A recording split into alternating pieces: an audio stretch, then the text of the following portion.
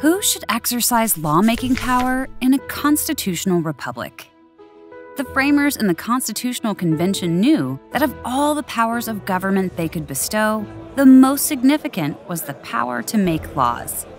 James Madison wrote in Federalist 51 that, in Republican governments, the legislative authority necessarily predominates.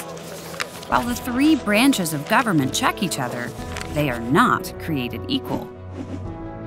The framers wrote the Constitution in order of importance, beginning with the structure and powers of Congress. Article 1 reads All legislative powers herein granted shall be vested in a Congress of the United States. The framers could have divided the legislative power among the branches. After all, in other countries, kings were free to proclaim laws as well as execute them. But the United States broke precedent by vesting all federal legislative power in Congress. So the framers were intentional about giving Congress the greatest responsibilities. But they weren't naive. As Madison famously said, if men were angels, no government would be necessary.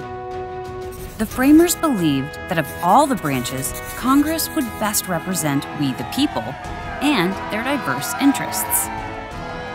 At the same time, they knew legislatures tended to expand their own power. The framers responded by dividing Congress's power between the House and the Senate. Ambition must be made to counteract ambition.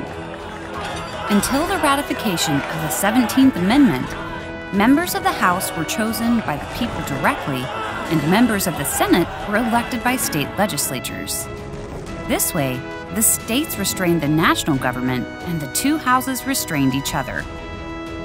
Theoretically, Congress would only be able to pass laws that preserved the balance of power and that benefited the whole nation. The framers also limited Congress's powers in Article 1, Section 8, which gives Congress specific enumerated functions.